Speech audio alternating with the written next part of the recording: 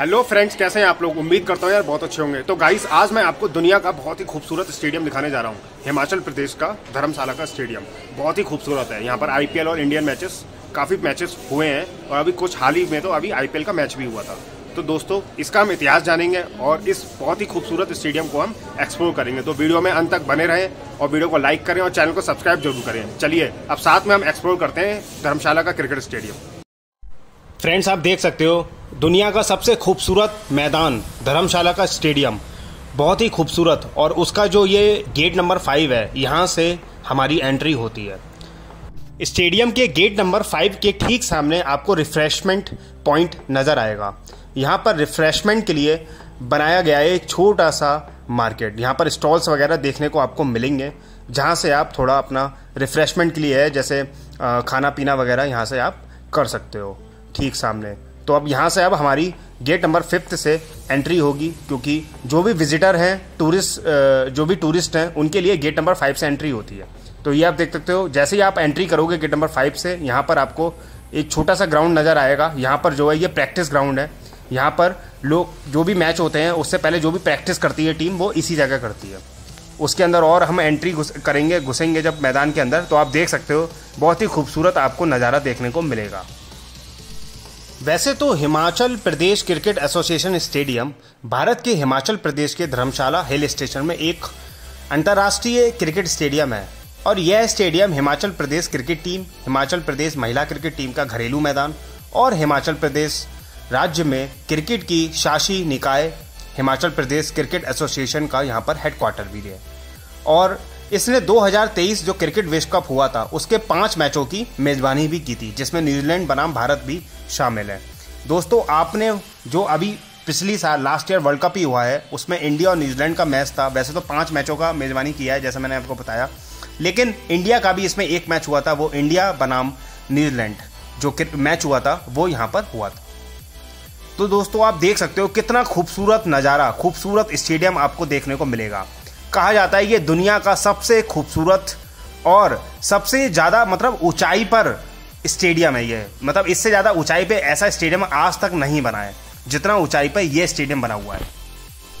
वैसे तो यह स्टेडियम रणजी ट्रॉफी मैचों और अन्य घरेलू मैचों के लिए हिमाचल प्रदेश क्रिकेट टीम के लिए एक डोमेस्टिक मैदान के रूप में कार्य करता है। और स्टेडियम ने पंजाब किंग्स जो पंजाब किंग्स की आईपीएल टीम है उसका जो घरेलू स्टेडियम है, उसके रूप में भी कुछ आईपीएल मैचों की इसने मेजबानी भी की है। और यहाँ पर यह जो सुरम्य स्थल है, भारत में अद्वितीय है? क्योंकि यार, यह समुद्र तल से लगभग चौदह मीटर की ऊंचाई पर स्थित है और इसकी पृष्ठभूमि में बर्फ़ से ढके हिमालय पर्वत हैं। यहाँ पर जो निकट हवाई अड्डा आपको देखने को मिलेगा, वो है कांगड़ा हवाई अड्डा। और यहाँ से आप धर्मशाला आ सकते हो, जो लगभग आठ किलोमीटर दूरी पर है। पहाड़ी इलाकों और कठोर सर्दियों के दौरान, जिसके दौरान मतलब यहाँ पर बर्फबारी भी होती है स्नोफॉल भी होता है तो जो जो मेन बाधा बनती है मैचों में तो काफ़ी मैच यहाँ पर नहीं हो पाते हैं। दरअसल विंटर में यहाँ पर मैच होना थोड़ा लगभग नहीं हो पाता है, क्योंकि स्नोफॉल भी होता है, बारिश भी होती है, और काफ़ी ठंड होती है तो उस वजह से यहाँ पर मैच होना पॉसिबल नहीं हो पाता है। ज़्यादातर जो भी मैच यहाँ पर रद्द होते हैं, वो विंटर में रद्द होते हैं, और ज़्यादातर सारे मैच यहाँ पर बाकी सीज़न में मैच होते हैं यहाँ पर। आप देख सकते हो, बहुत ही खूबसूरत स्टेडियम है। सामने आप देख सकते हो, ये पवेलियन एंड है। बहुत ही खूबसूरत है, ये ड्रेसिंग रूम है सामने जो मैंने आपको दिखाया। बहुत ही खूबसूरत स्टेडियम यहाँ पर आपको देखने को मिलेगा। पूरा ग्रीनरी देखने को मिलेगा। सामने आप देख सकते हो, बर्फीले पहाड़ आपको देखने को मिलेंगे स्टेडियम के ठीक पीछे।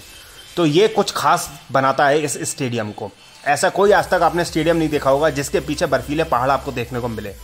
तो ये सबसे अलग स्टेडियम आपको देखने को मिलेगा। बहुत ही खूबसूरत नज़ारे हैं यार। गज़ब का नज़ारा है, बहुत ही खूबसूरत है। ये इंडिया का ही नहीं दोस्तों, ये दुनिया का सबसे खूबसूरत स्टेडियम है।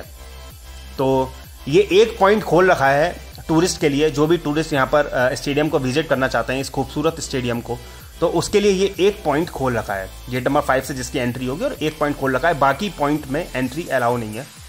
और स्टेडियम के अंदर अलाउ नहीं है, क्योंकि आप जानते हो कि यार अगर पब्लिक को अलाउ कर देंगे तो स्टेडियम की मतलब स्टेडियम तहस नहस भी हो सकता है या स्टेडियम में थोड़ा दिक्कतें भी हो सकती हैं। क्योंकि यहाँ पे स्टेडियम में आप देखोगे तो बहुत ही खूबसूरत है और मेंटेनेंस यहाँ पर हमेशा मेंटेनेंस करना पड़ता है स्टेडियम को। क्योंकि आप देखोगे यहाँ पर लोग मतलब स्टेडियम में अभी पानी का छिड़काव भी हो रहा है और काफ़ी मेंटेन करना पड़ता है। इसलिए यहाँ पर इसके स्टेडियम के अंदर नॉर्मल लोगों को मतलब टूरिस्ट लोगों को अलाउ नहीं करते। आप देख सकते हो यहाँ पर पानी डाला जा रहा है स्टेडियम में ताकि पूरा ग्रीन बना रहे और स्टेडियम में घास रहे तो अच्छा रहता है एकदम। तो आप देख सकते हो मेंटेनेंस काफ़ी करना पड़ता है स्टेडियम का। लेकिन बहुत ही खूबसूरत स्टेडियम है। काफ़ी टूरिस्ट भी यहाँ पर आपको दे, मिलेंगे देखने को। और जो भी धर्मशाला आता है वो इस स्टेडियम में तो आता ही आता है। अगर वो ये स्टेडियम देखने नहीं आया धर्मशाला आया पर स्टेडियम देखने नहीं आया तो समझो उसकी जो धर्मशाला की यात्रा है वो अधूरी रह गई है। दोस्तों एक मैं आपको एक ज़बरदस्त एक फैक्ट बताता हूँ। इस मैदान पर खेलने वाली जो पहली इंटरनेशनल टीम थी वो पाकिस्तान क्रिकेट टीम थी। और उन्होंने 2005 में इंडिया ए टीम के खिलाफ प्रैक्टिस मैच खेला था। तो आप सोच सकते हो कि यार आ, मतलब आपने कभी सोचा नहीं होगा कि यार इसमें जो पहला मैच हुआ था वो पाकिस्तान क्रिकेट टीम खेली थी जो इंटरनेशनल टीम पहला मैच खेली थी। तो ये भी एक अलग ही एक स्टोरी है इसकी। और इस स्टेडियम में जो पहला ओडीआई मैच हुआ था, वो 27 जनवरी 2013 को भारत और इंग्लैंड के बीच खेला गया था। इंग्लैंड ने यह मैच सात विकेट से जीता था और इस स्टेडियम में जो पहला टेस्ट मैच हुआ था, वो 25 से 29 मार्च को 2017 को भारत और ऑस्ट्रेलिया के बीच खेला गया था। और भारत ने यह मैच जीता था।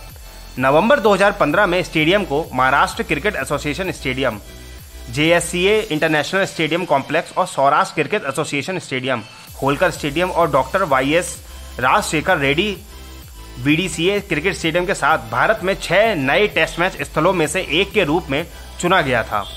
तो मेरे एक्सपीरियंस से अगर मैं आपको बताऊँ तो आप जब भी स्टेडियम आओगे या टिकट बुक करोगे, जितना ऊपर की सीट बुक करोगे, उतना अच्छा आपको नज़ारा देखने को मिलेगा। और जितना नीचे की करोगे, उतना अच्छा नहीं देखने को मिलेगा। वैसे अच्छा ही है, लेकिन जितना ऊपर है, उतना अच्छा देखने को आपको मिलेगा। अब मैं आपको एक और चीज़ यहाँ पर दिखाता हूँ, आप ये देख सकते हो। यहाँ पर ये वॉशरूम है।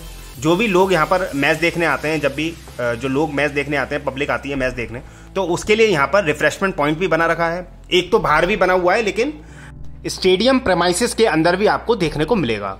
तो अभी तो कोई इंटरनेशनल मैच नहीं है तो अभी ये आपको खाली दिख रहा है। लेकिन यहीं पर ये रिफ्रेशमेंट पॉइंट है इंटरनेशनल मैच जब भी होता है तो लोगों के लिए ऑडियंस के लिए रिफ्रेशमेंट पॉइंट है यहाँ पर। जो भी खाना पीना है या आप कर सकते हो, और यहाँ पर वॉशरूम भी यहाँ पर देखने को मिलेगा तो यहाँ पर वॉशरूम भी है और रिफ्रेशमेंट पॉइंट भी है। दोनों चीज़ें हैं। तो ये भी एक अच्छी चीज़ यहाँ पर देखने को मिलती है।